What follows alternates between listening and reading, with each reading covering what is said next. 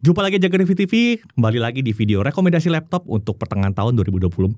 Nah, di depan saya kali ini sudah ada senior reviewer Jaga Review untuk laptop. Halo. Ada, ada Rifki, ada Halo, Gatot. halo, halo. Nah, di video kali ini kita mau bahas rekomendasi laptop di kelas harga berapa nih? Eh, buat kali ini di kelas harga 10 sampai 15 juta. Tapi yang kita mulai dulu yang thin and light. Oh, jadi ini spesifik ya, 10 sampai 15 juta untuk laptop yang tipis dan juga Dan- ringan. Tipis dan ringan.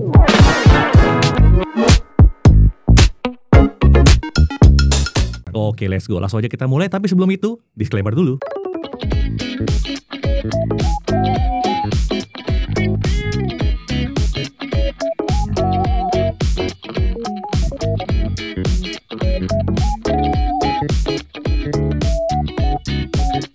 Oke, langsung aja kita mulai rekomendasi laptop untuk kelas harga 10 sampai 15 juta untuk kategori laptop tipis dan juga ringan. Nah, kali ini hostnya bareng sama saya buat yang nanyain Mas Dedi ke mana? Lagi di Jerman ya. Baru acara. lagi ada acara, lagi tugas di Jadi- Jerman. Ceritanya kita hijacking channelnya ya. Jadi saya akan jadi uh, menggantikan Mas Dedi sebagai host dan walaupun saya nggak ngerti-ngerti amat soal laptop, halah gitu. Jadi paling nggak di sini peran saya akan bertanya ke mereka dan berharapnya semoga pertanyaan-pertanyaan saya bisa mewakili kalian untuk yang awam. Dan juga buat kalian yang nanya-nanyain untuk rekomendasi yang lain ada atau enggak, udah ada ya. Saat video ini tayang harusnya udah ada yang di bawah 6 juta, udah ada. Yang 6 sampai 10 juta udah ada. Ya udah. ada. Nah, untuk video kali ini kita akan fokus ke laptop tipis dan ringan. Nantinya akan ada lagi, tapi itu menyusul ya. Oke, langsung kita mulai. Kita mulai dari apa dulu ya? Kayak kalau gue mungkin mulai dari harapannya dulu deh. Oke. Harapannya tuh 10 sampai 15 juta laptop yang di, kita harapkan tuh seperti apa sih? Oke, kalau untuk 10 sampai 15 juta sebenarnya ini udah agak naik level ya.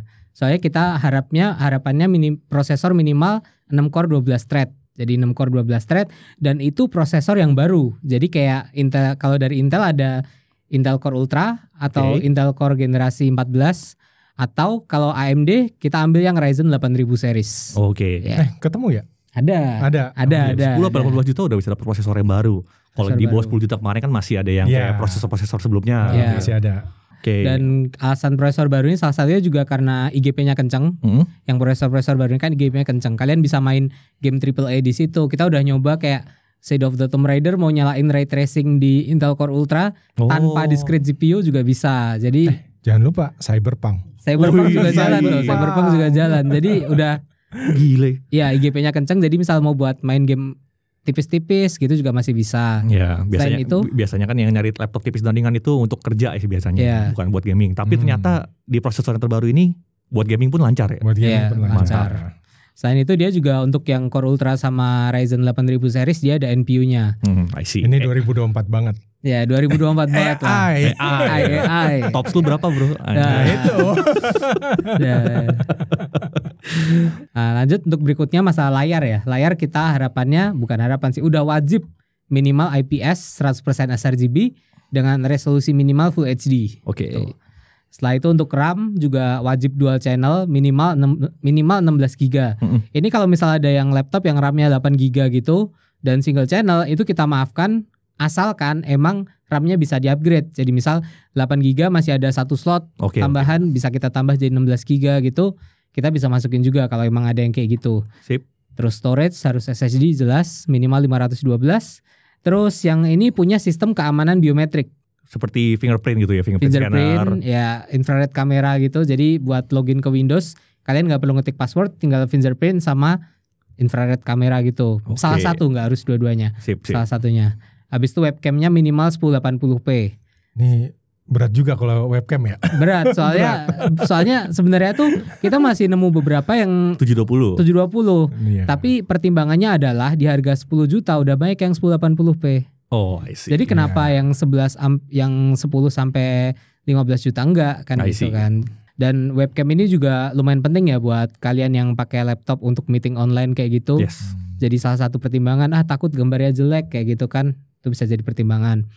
Terus yang terakhir ini laptop lain dengan spesifikasi ini masih bisa dipertimbang apa dengan spesifikasi di bawah ini masih bisa dipertimbangkan jika memang ada hal yang sangat menarik gitu. Misal dia menawarkan performa yang kelewat kenceng untuk harganya gitu. Mhm. Seandainya misal emang eh, ada syarat yang nggak dipenuhi bisa kita masukin Ya. kalau emang ada. Dan yang terakhir ini laptop thin and light, bukan laptop gaming. Ya Oh. berarti kalau misalnya Asus itu ZenBook, VivoBook, Ya, ZenBook, VivoBook, Lenovo Yoga sama Ya, IdeaPad. IdeaPad. Ah, I see. bukan IdeaPad gaming ya? bukan IdeaPad aja. IdeaPad IdeaPad Gaming aja. sekarang udah nggak ada ya. Eh udah nggak ada ya? Udah oh ada, iya ganti ganti, jadi lock. Iya. Iya, Ganti lock. Benar benar benar. Oke oke oke. Dah. Udah itu aja, itu aja udah banyak sih sebetulnya. Iya, banyak. banyak. Justru semakin spesifik eh, apa namanya persyaratan kita tuh bisa membuat opsi yang begitu banyak di pasaran ini semakin ini ya, semakin sempit opsinya gitu. Iya. Biar kalian nggak terlalu bingung juga, biar tahu-tahu bisa kita ada 20 rekomendasi yang ada kalian bingung gitu ya. Benar. Dengan benar. standar yang kita punya, nanti opsinya eh, ada apa aja, mari kita langsung bahas aja. Kita juga bingung kalau 20 biji laptop. Nah itu. Bahasnya juga capek. Capek. bos. Oke, langsung aja kita mulai. Laptop pertama ada apa? Oke, Mas Gatot dulu mungkin. Oke, yang pertama ini ada apa nih? Lenovo IdeaPad Slim 5i OLED. Oh, Jadi ini laptop dengan prosesor Intel Core Ultra dan layar OLED dari Lenovo yang harganya paling murah kita temukan saat ini. Saat video ini dibuat. murah Eh, berarti uh, untuk yang kalian dapat ya, bukan berarti bisa Iya. dibeli semua orang. Bukan. Itu ya masih salah paham tuh. Terus eh, untuk variannya ternyata ada dua. Jadi eh, bisa pilih apakah yang mur mau pilih yang murah atau yang paling kencang. Bedanya di mana tuh? Dia yang murah itu pakai Core Ultra 5125H. Oke. Terus yang kencang dia Core Ultra 7155H. Harganya? Nah ini untuk harganya eh yang Core Ultra 5 13 juta kembali 1000. Terus kalau yang Core Ultra 7 15 juta kembali 1000. Jadi masih masuk di range yang kita ini, Mantap. yang kita pilih. Tapi eh, mudah-mudahan udah dibaca disclaimer juga ya, karena ini harga saat video ini dibuat, ya. Nah, Fluktuasi harga laptop itu lumayan ini ya, lumayan cepet naik turunnya. iya, gitu. apalagi dolar nggak bisa diprediksi Iya, juga. dolar nggak bisa diprediksi. Pas kita buat video ini harganya segini. Oke. Untuk hal yang perlu diperhatikan Oke, ya apa nih? yang pertama untuk hal yang perlu diperhatikan ini bisa dibilang cuma bagian RAM-nya doang. Rame doang. Iya, RAM-nya 16 GB LPDDR eh, LPDDR5. Jadi ini RAM-nya onboard. Jadi nggak Onboard. bisa di-upgrade. bisa di-upgrade. Dia nggak ada slot SODIMM juga, jadi emang nggak bisa ditambah. Tapi rasanya 16 GB di harga segini udah oke sih. Masih oke lah Oh, ya. masih oke. Dan Untuk- lagian orang beli laptop kayak gini nggak mungkin buat 3D model Nah, kayak Iya, gitu iya. juga. ini Jadi emang buat ya. kerja office, Office. untuk meeting dan sebagainya. Bukan buat render video 4K editing Oh, gitu kan ya. bukan. Tapi kalau editing 1080p mah masih aman lah ya. Eh tapi harusnya 4K aman ini. 4K aman. 60 Core Ultra soalnya. Oh, Core Ultra. Core Ultra aman kalau 4K. Gokil. Oke, poin menariknya. Poin menariknya eh, jenis prosesornya dia ada dua opsi tadi kita udah bilang ada Core Ultra Hmm. Ultra 5 5. sama Core Ultra 7. Itu jumlah core apa? Jumlah core sama threadnya melimpah itu buat eh, editing video atau yang agak berat-berat dikit lah Oke. masih oke. Terus dia punya NPU jadi eh, bisa komputasi AI secara offline. Sip. Aha, terus body aluminium. Soalnya ini IdeaPad. Oke. Biasanya body aluminium itu di seri Yoga yang lebih premium. Iya. Jadi eh, Naik kelas dong berarti. Naik kelas, wah, Oke. naik kelas. Saya, jadi jangan anggap semua IdeaPad tuh bodinya polikarbonat ya. Ah, Iya. Udah ada, yang beberapa yang naik level udah naik sekarang. level. Iya. Terus eh, SSD-nya udah 512, tapi harusnya ini masih bisa di-upgrade sih, diganti. Iya, masih bisa diganti. Ah, Ini udah NVMe semua kan harusnya ya. harusnya, Harusnya udah, udah. udah udah standar ya. Syarat, syarat. Syarat. yoi. Terus yang ini menariknya sih layar OLED Full HD plus 100% di ACI IP3. Jadi buat entertainment, kon- eh, nontonin Buat film gitu-gitu gak asik ya. Buat editing nggak ada masalah sama sekali. Gokil. Lalu dia ada webcam 1080p dengan infrared. Oke. Berarti dia ada apa? vi- eh, pengaman biometrik juga. Sip.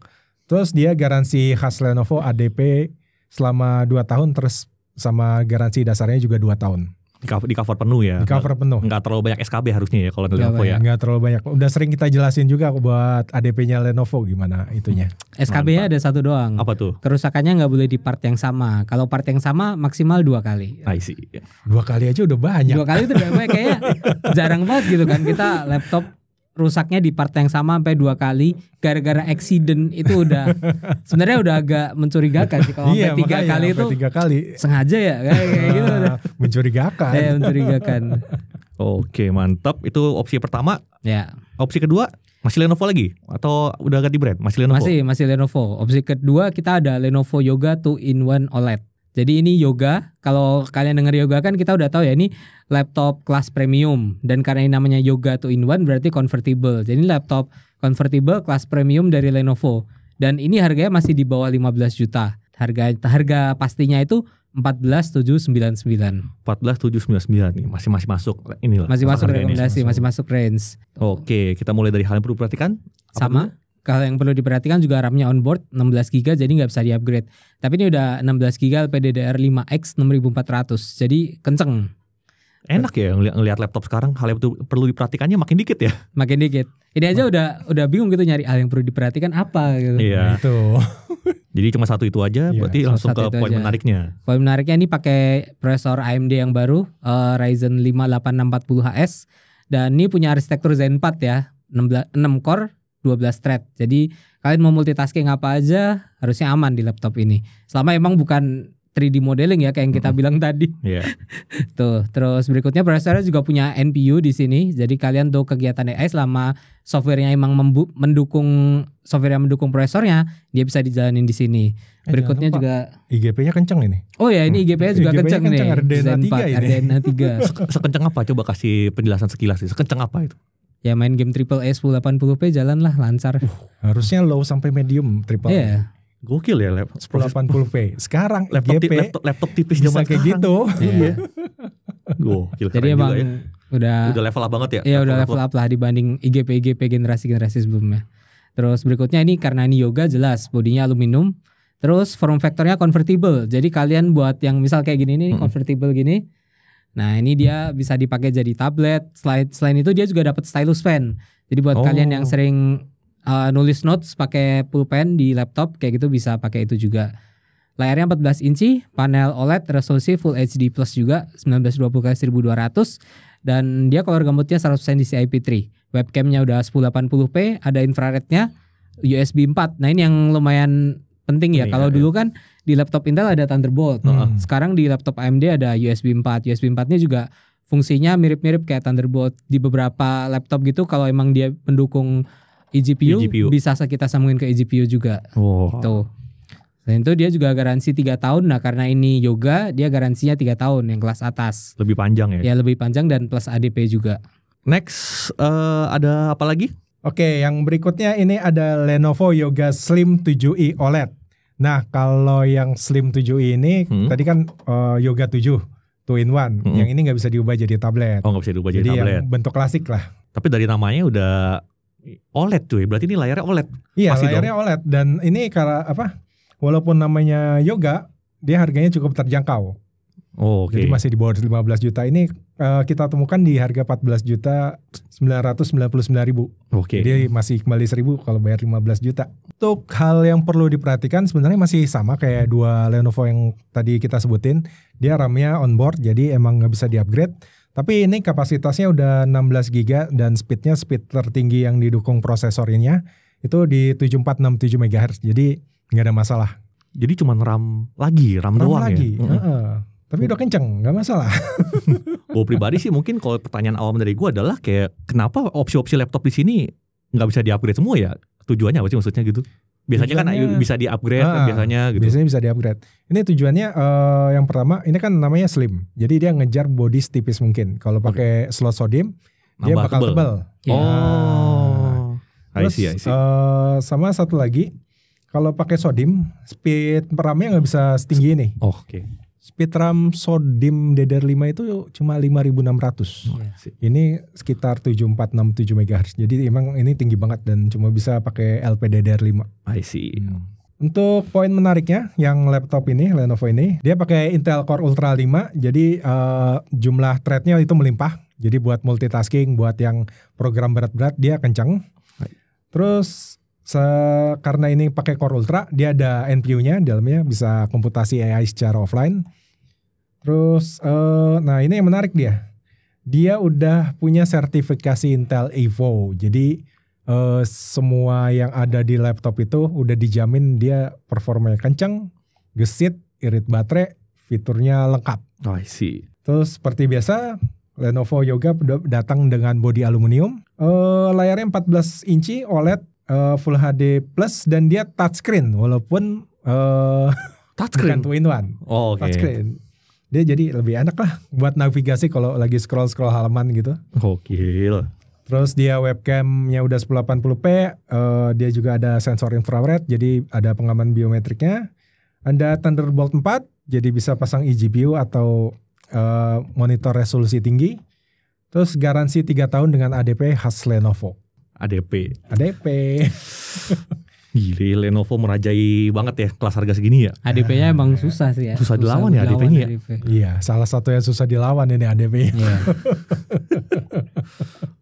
Masih ada Lenovo lagi? Atau udah kita pindah brand? Ganti ganti. Oh, udah ganti ganti brand. Gantian gantian. Kasihan yang lain. Kasihan yang lain, gitu. Gantian. Bukan berarti nggak ada. Yuk, Bukan berarti nggak ada. Oke, udah kita masuk ke brand berikutnya ya. Di sini ada Acer Swift Go 14. Ini laptop thin and light dari Acer dengan nah ini yang menarik. Kalau dari tadi kan kita bilang RAM-nya 16 GB onboard nggak bisa di-upgrade. Heeh. 16 GB onboard nggak bisa di-upgrade. Yang ini Acer ngasih opsi walaupun RAM-nya nggak bisa di-upgrade, dia ada dua opsi RAM. Yang pertama 16 GB, yang kedua 32 GB. Jadi kalau kalian ngerasa 16 GB kurang, kalian bisa ambil yang 32 langsung. Harganya beda jauh gak tuh? Harganya untuk yang 16 GB itu 11,699, sedangkan yang 32 harganya 13,899. Tuh. Oh, cuma beda di 2 jutaan nih. Ya beda di 2 jutaan untuk RAM nambah RAM ke 32 GB. Oh ya ini dulu pernah kita review loh, tapi yang di review dulu yang Core Ultra 7. Oh, Kalau yang masuk ini yang kita masukin sini kita dia Core Ultra 5. Core Ultra 5. Ya. Oke, langsung aja kita lihat hal yang perlu diperhatikannya ada apa aja.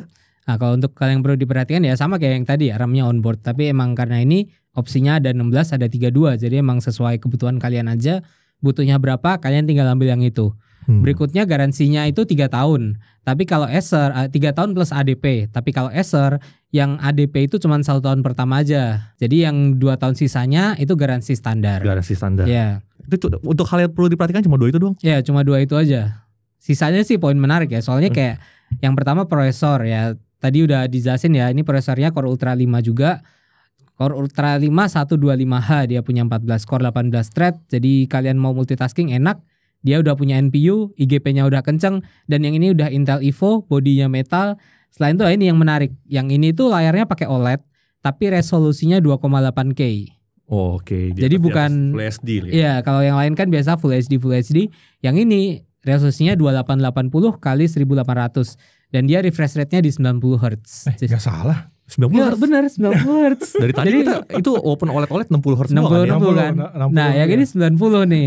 Jadi Wow. bukan cuma resolusinya yang lebih tinggi, refresh rate-nya juga lebih tinggi. Jadi kayak ya buat lo yang udah nyobain monitor dengan refresh rate 60 sama 90 Itu berasa, 144 kan beda kan. Beda, beda, nah, beda. ya itulah. Nah, yang ini eh, resolusinya 2,8K, refresh rate 90 Hz. Terus eh, apa? Touchpad-nya itu bisa jadi media control. Ini mungkin kalau belum pernah ngelihat agak susah bayanginnya ya. Oh. Tapi mungkin nanti biar video editornya bisa Kasih birol ya. Iya bisa masukin birol dari kemarin. Ini kayak berarti kayak gestur-gestur di touchpad gitu ya? Iya Oh. kayak gestur dan dia touchpadnya itu keluar lampunya. Setelah itu webcamnya 1440p. Nah ini yang lain 1080p. Yang ini 1440p. Tapi jangan lupa, ini kan eh, Acer. Ya. Webcamnya kan sama noise cancellation yang imba itu. Ya noise cancellationnya noise cancelling mikrofonnya Acer tuh uh juara lah pokoknya kita udah kita suka banget lah sama noise cancellingnya. Udah gitu dia juga kalau keamanan biometrik dia nggak pakai infrared ya, tapi pakainya fingerprint reader ya. Dan dia punya konektor Thunderbolt 4 Oke. Lengkap sekali ya. lengkap. Cuman yang menarik perhatian gue sih jujur aja di layarnya sih. Kalau spek kan prosesor udah pada mirip-mirip nih. ya. Iya. Dia punya kelebihan spesifik tuh di layar OLED-nya sama itu webcamnya 1440p. Gokil sih. Iya. Keren keren keren. Masih ada lagi gak dari Acer? Eh, buat dari Acer ada satu lagi. Ini ada Acer Swift Go Touch Evo. Go Yang- Touch. Ini Iya, berarti layarnya touchscreen. Layarnya touchscreen. Wih, di. Harganya em, nggak terlalu nyentuh 15 juta sih kalau yang ini. Masih 14,2 sekitar 14,2. 14,2 kurang 1000 ya. Hmm, Oke. kurang seribu. Untuk Terus untuk hal yang perlu diperhatikan ini lagi-lagi RAM-nya onboard. Tapi ini udah langsung 32 giga. Nggak tanggung-tanggung. Nggak ya. nanggung. Nggak tanggung. Ini tanggung-tanggung. 32 giga ya udahlah. jadi harusnya ini bu- bukan masuk hal yang perlu diperhatikan sih. Iya. Langsung 32. Siapa tahu pengennya 16 doang. Wah, Ah. 32 buat apaan? 32 kepake buat AI AI itu. Nah, iya juga sih. Eh, buat editing video, Oh Kok iya kepake, benar. coy. editing video tuh semakin gede RAM-nya, semakin kenceng Setuju. rendernya tuh kalau di Tim- Premiere. Tim 32 udah But- merasakan butuh layar banyak ya mas. Yo tuh. Terus dia garansi 3 tahun plus ADP tapi HDP-nya hanya di tahun pertama itu untuk hal yang perlu diperhatikan berikutnya. Ya, belum seimbal Lenovo ya DP-nya Iya, berarti iya. ya. Tapi setidaknya udah ada ADP lah. Seenggaknya udah Hmm. ada. Oke, buat poin menarik dia pakai Intel Core Ultra 5125H lagi. Jadi emang apa jumlah core-nya melimpah. Dia juga ada NPU untuk komputasi AI offline. Terus eh, seperti nama apa nama laptopnya tadi dia ada sertifikasi IVO. Ya kita udah sering bahas kelebihannya bisa dicek-cek lagi di video-video kita berikut apa Mm-mm. yang sebelumnya. Terus dia body metal, ini khas eh, seri Swift banget kan. Eh, Swift itu seri premium, jadi Mm-mm. wajar kalau bo- bodinya metal. Nah untuk layarnya ini eh, agak beda sama yang tadi. Yang ini layarnya eh, IPS Full HD, tapi udah 100% sRGB sRGB. dan dia udah 90 Hz juga. Oke. Jadi emang apa buat apa pergerakannya jadi lebih mulus pergerakan di desktopnya. mantap. Dia tuh eh, touchpadnya juga bisa jadi media control, webcamnya 1440p juga, Eh, dan noise cancellation eh, noise cancellationnya fiturnya harusnya mirip-mirip lah sama yang Acer yang tadi. Salah satu, Dan- salah satu favorit kita ya ya. itu favorit banget. dan dia ada biometriknya fingerprint sensor. Oke. Wow. Keren-keren banget ya laptop kelas harga segini sekarang ya. Kayaknya Oke. dulu beli harga sini nggak kayak gini nih speknya. Naik jauh ya sekarang Naik ya. jauh Bener, bener.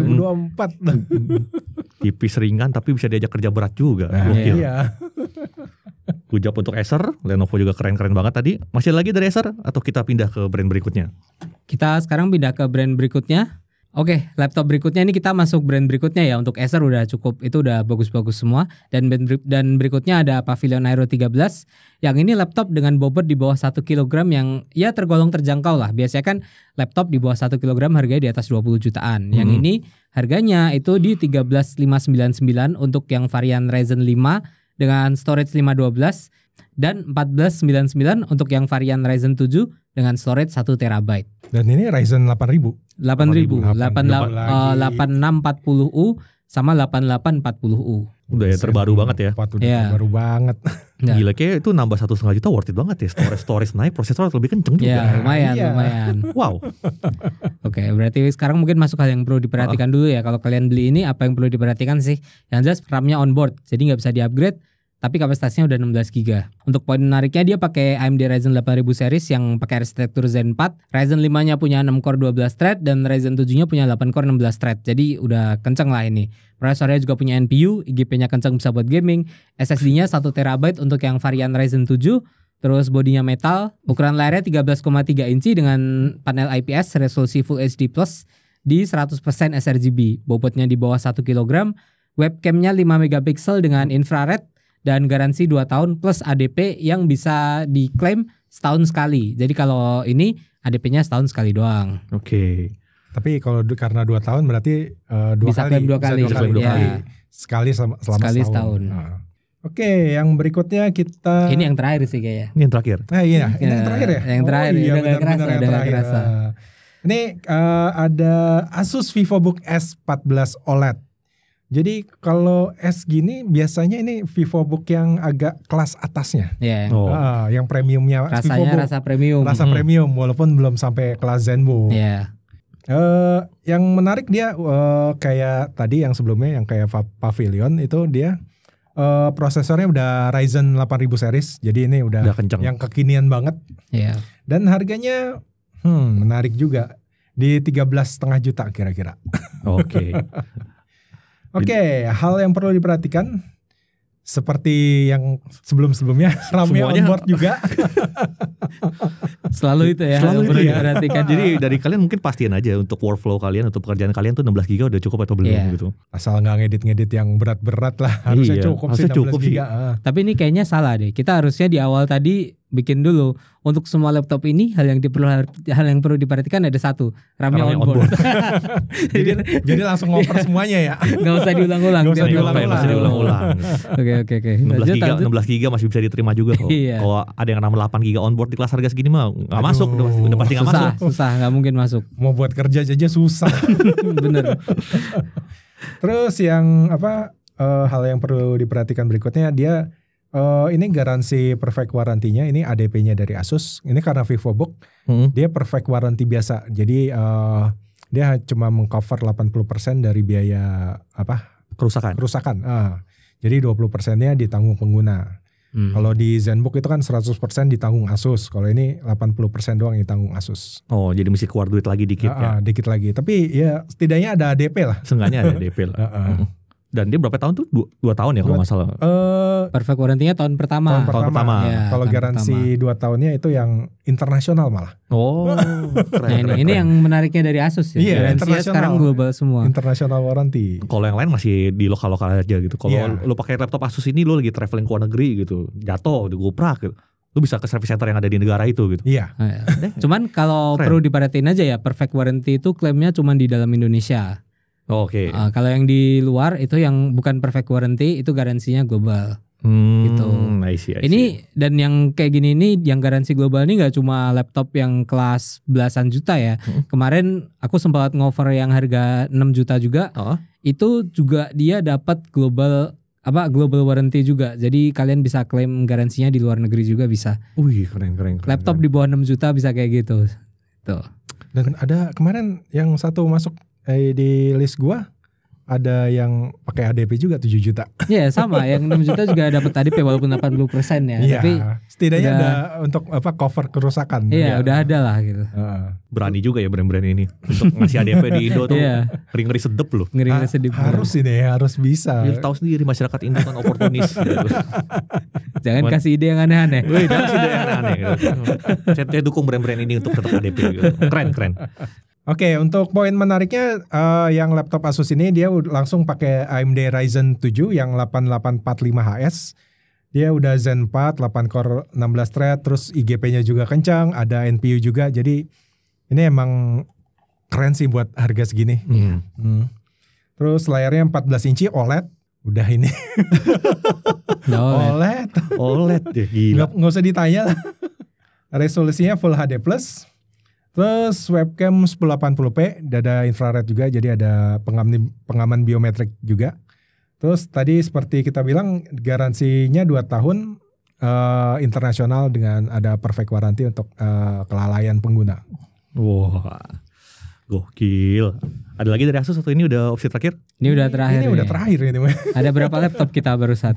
Kita ada Tujuh, Tujuh, ya. tujuh ya, ada tujuh tujuh, laptop tujuh, yang kita tujuh. rekomendasikan kali ini. Tapi disclaimer lagi teman-teman ini adalah versi kita. Kalau misalnya teman-teman ada punya rekomendasi lain, eh di 10 sampai 15 gue ada rekomendasi eh, laptop ini nih. nggak apa-apa juga ya.